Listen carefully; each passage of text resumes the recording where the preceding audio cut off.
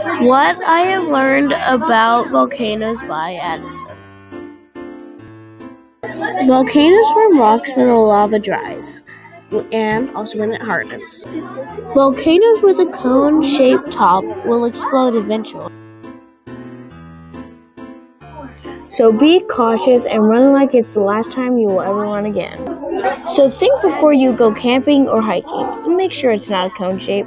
These volcanoes have a name. They are called cone volcanoes. There is also another kind, but I will get onto that later. Cone volcanoes form when thick lava starts coming from the ground. It also forms when the lava starts to pile, like Starbucks coffee. I like Starbucks. Now we will learn about the other volcano. Let's get on to it. The Shield volcano does not explode, but it will erupt, so still be careful and still be aware. The shield volcano got its name because in the past some Vikings found it, and it looked like a shield, so they called it a shield volcano. And that's what I learned about volcanoes. Bye, see you next time. Oh, and don't forget to like. Bye.